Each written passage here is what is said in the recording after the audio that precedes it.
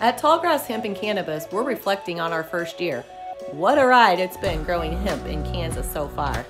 After a successful 2019 harvest, the KDA denied our 2020 research proposal three times in writing, all because we suggested studying feral hemp.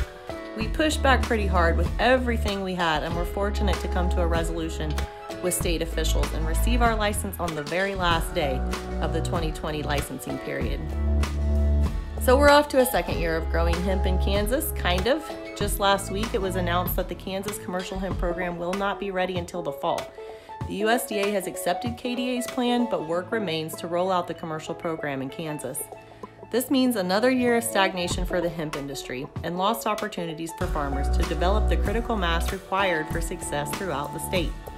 This unfortunate result of coronavirus related delays is a disappointment to everyone involved in the Kansas hemp industry, I'm sure, but no one's fault. Medical marijuana is an area where Kansas continues to also fall further behind, even our nearest neighbors. During the coronavirus crisis, 30 states declared cannabis essential, but in Kansas it remains illegal. As Kansans, we have got to change this. Tallgrass continues advocating on this issue and encourages you to also speak up. Overall, we are filled with gratitude for this first year of historic hemp growth and excited to keep growing.